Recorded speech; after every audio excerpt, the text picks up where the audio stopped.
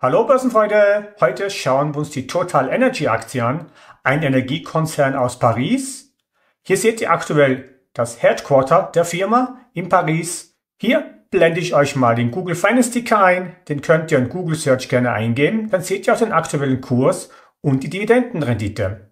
Wir werden uns mal in diesem Video detaillierter anschauen, die Umsatzentwicklung, was bleibt ihr vom gesamten Umsatz wo liegt der faire Wert aktuell aus der Bilanz Q2 24 und wie sieht es aktuell im Chart aus? Viel Spaß mit dem Video!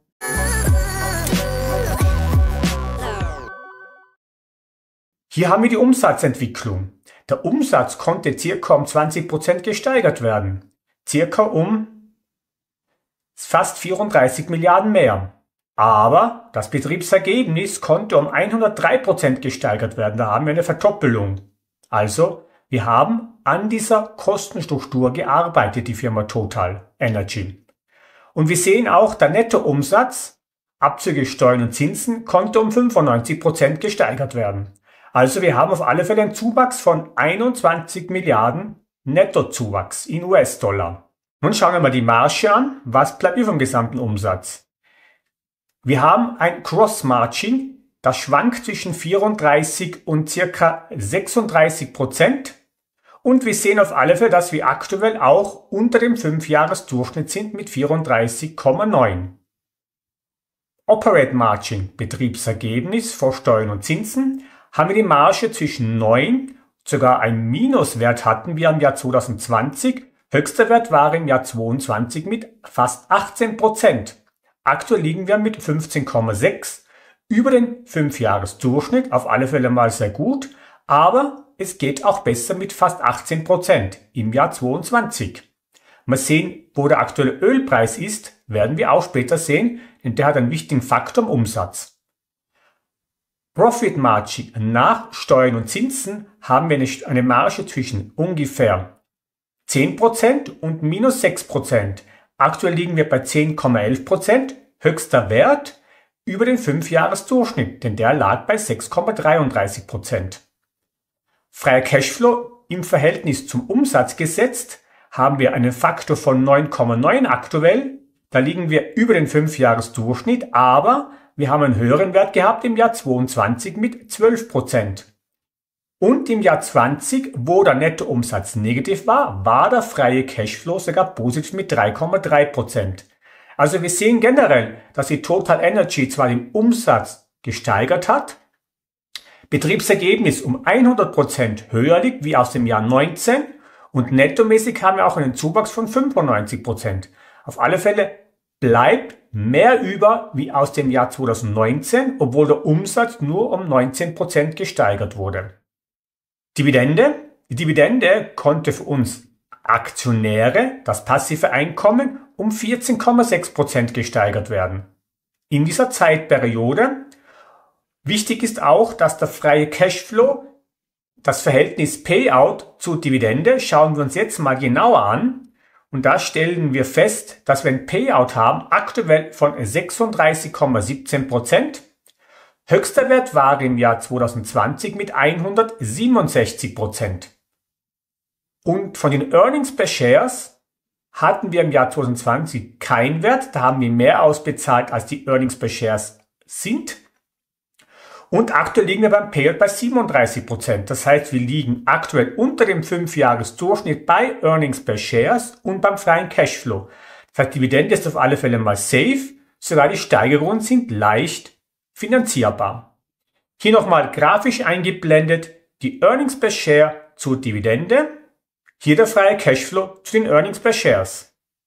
Wie man sehen kann, sind die Dividenden leicht bezahlbar, aber im Jahr 20 nicht. Hier haben wir die Passivseite, Geldgeberseite. Wir sehen, dass die Verschuldung sich um 3,5% erhöht hat, die Gesamtverschuldung, die langen um 6,8 und die teuren, die kurzen um 17,2 Prozent. Das Eigenkapital läuft seitwärts mit 0,5 Prozent Steigerung. Aktienrückkaufprogramm. Die Stückzahl der Aktien wurden circa um 11 Prozent reduziert und der Buchwert pro Aktie ging um 12,5 Prozent nach oben. Der liegt aktuell bei 45,8 Euro. Auf alle Fälle Mal sehen, wo der Aktienkurs liegt und der faire Wert. Eigenkapitalquote auch ein wichtiger Faktor, denn über 30% Eigenkapitalquote ist sehr gut für die Bonität.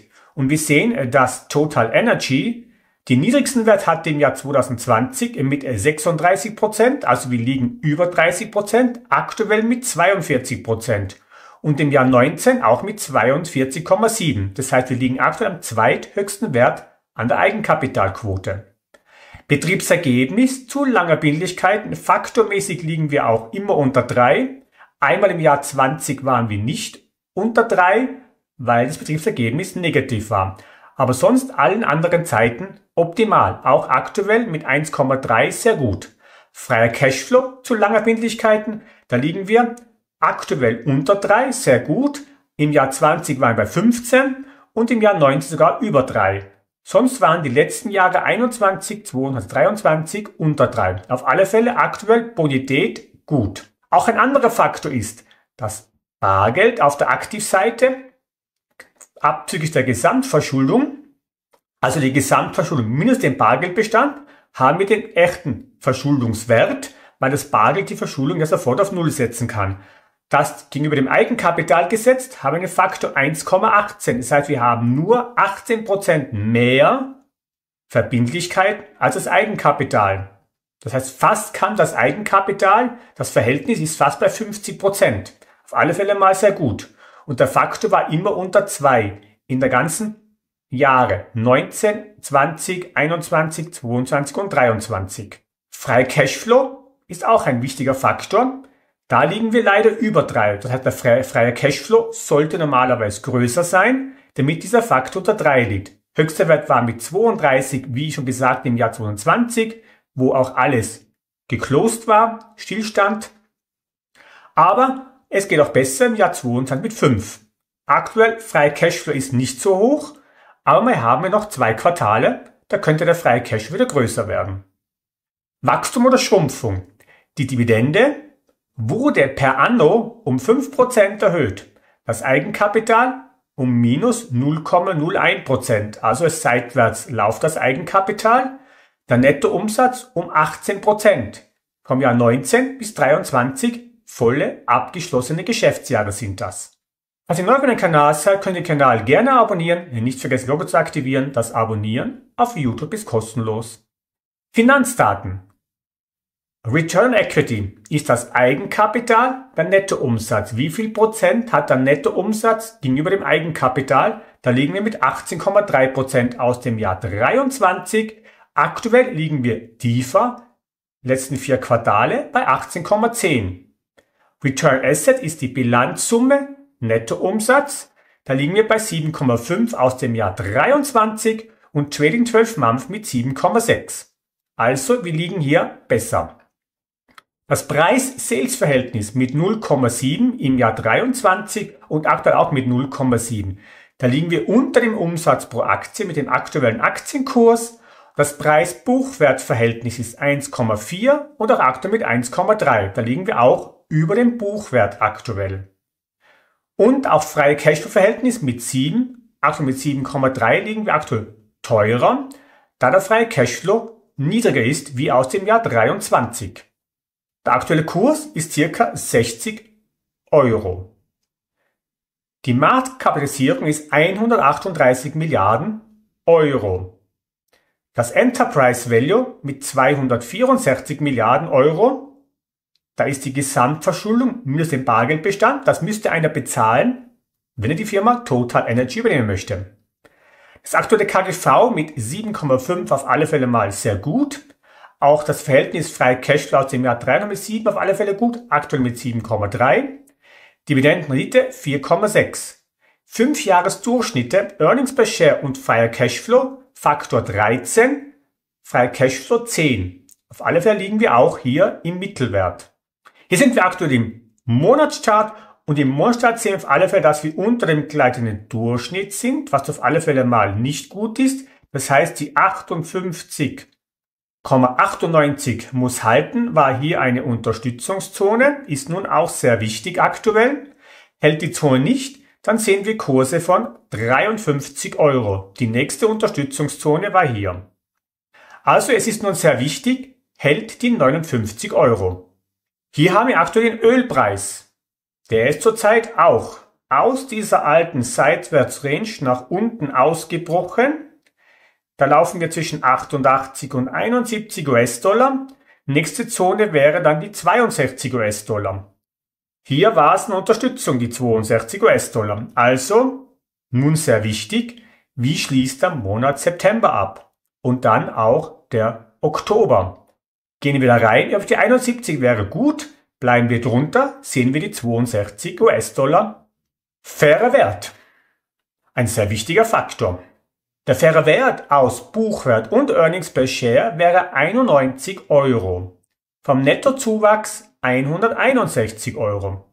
Also wir sehen, wir liegen auf alle Fälle unter dem Fernwert aus Buchwert und Earnings per Share. Also unterbewertet. Simulation. Falls das Eigenkapital um 1,8% per Anno nach oben geht, die Earnings per Share um 13% in den nächsten Jahren per Anno größer werden und der freie Cashflow um 8,8%, hätten wir im Jahr 2028 einen fairen Wert von 130 US-Dollar aus Buchwert und Earnings per Share. Vom Nettozuwachs wären es 225 und freien Cashflow 185. Ich würde mal die 130 herannehmen. Mal sehen, ob es kommt. Auf alle Fälle, wenn das Szenario so eintrifft, haben wir diese faire Werte.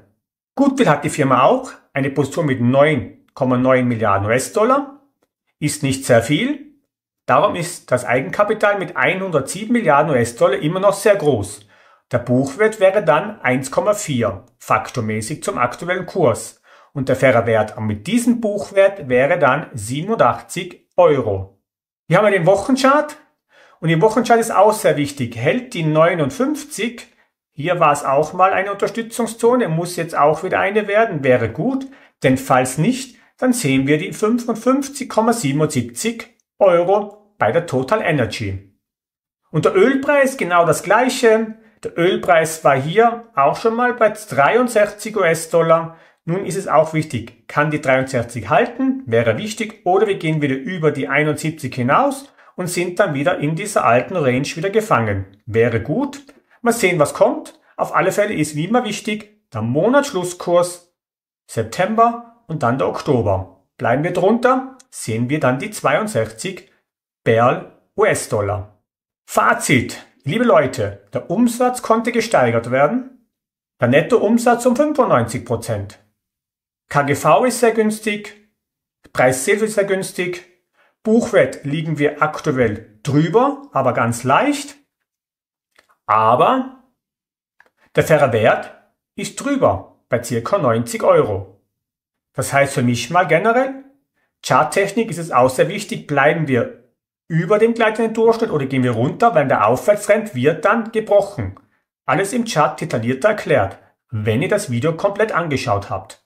Das Betriebsergebnis hat sich auch verdoppelt um 106%, auf alle Fälle auch sehr gut. Auch das Operate Margin konnte sich auf 15,7% erhöhen. Und aktuell sage ich mal, wir liegen unter dem Fernwert. Buchwert ist zwar drunter, Vielleicht sehen wir den Buchwert wieder. Generell mal einfach mal in die Aktie investieren und Dividende kassieren. Fällt der Kurs weiter runter, nachkaufen, aber anhand der Charttechnik bitteschön, denn ein fallendes Messer kann weit fallen. Und Leute, am Sparbuch wird euer Geld auch weniger wert durch die Inflation. Da habt ihr keine Angst, um Geld zu verlieren. Und bei dieser Aktie bekommt ihr wenigstens eine Dividende und die ist sogar leicht finanzierbar aufgrund vom freien Cashflow und von den Earnings per Share rein rechnerisch. Also alles safe. Hier findet ein weiteres Video von mir. Viel Spaß am Anschauen.